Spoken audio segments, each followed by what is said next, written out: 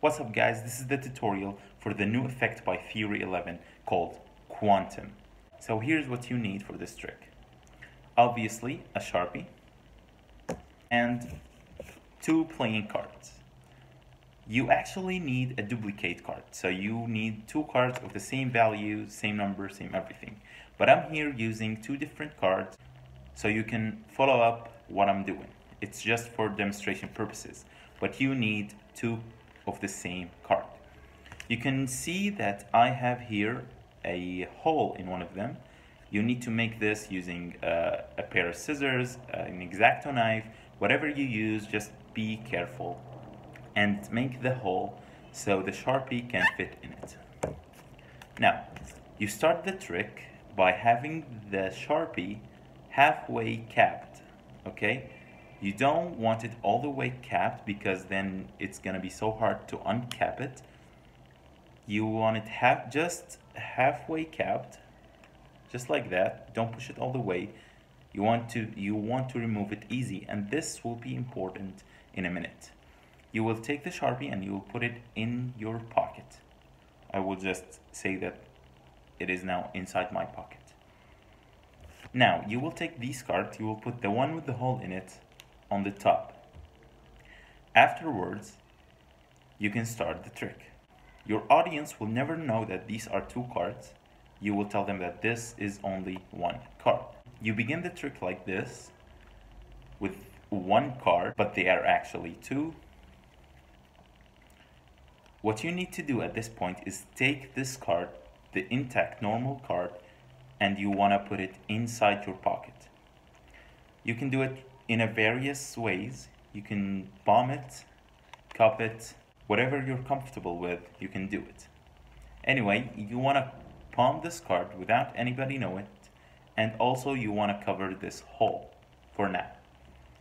You palm this card and you act like you are getting something from your pocket, which you are, you are getting the Sharpie, and in doing so, you will ditch this card in the pocket and take the Sharpie out. You switch the card to the Sharpie, and now it comes to the tricky part. You want to act like you are pinching through the card by counting like one, one, two, three.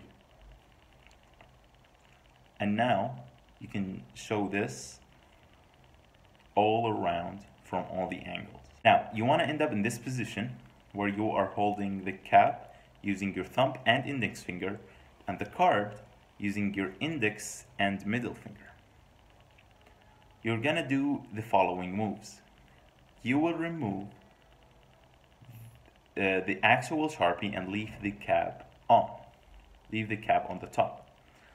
You will remove it using this hand, just like this. Like that. And you will end up with only the cap and the card, like that. But this move is kind of angle sensitive, so you don't want anybody in, in the back or to the right, but these angles are okay. After you take it with your hand and you put it in this position, I think you can call it some sort of a palm. And don't, don't forget to tilt this card downwards towards you like that, so the cap is directing towards the audience because if you hold it like this, they can see that there is no actual Sharpie inside. You will grab the card from this end in using your left hand and you will move this cap on the card front and back. Make sure to cover this hole because you don't want to do this or like that. You want to keep covering it all the way and come back to it. And now we have to do the reverse action where we're gonna do a fast cap and you can then go back to this position and remove the card. Now at this point, you will give the Sharpie for examination. You will give it to your audience. In this time, while they are examining the Sharpie, you will take the card and put it in your pocket.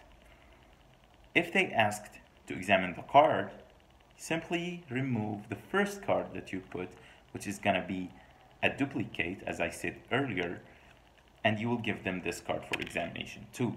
Make sure to practice the hard moves of this trick and then perform it, and thanks for watching.